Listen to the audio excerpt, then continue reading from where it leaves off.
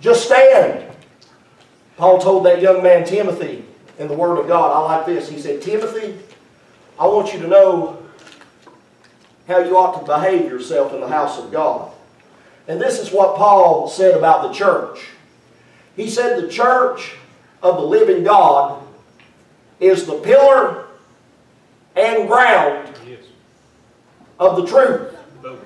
Yeah. It's the pillar and ground of the truth. Do you know what that tells me? I like that. But that tells me this. We are the church. You see, the church is not this building. The people are the church.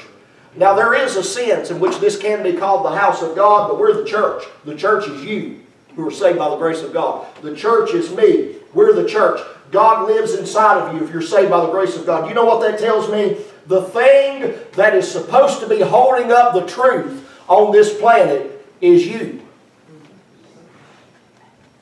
I'll say it again. The thing that's supposed to be holding up the truth on this planet is you. He said, the pillar and ground of truth. That's the foundation, and the pillar that comes out of that foundation to hold up truth is you and me. The federal government of the United States of America is not what's holding up truth in this world today. The Supreme Court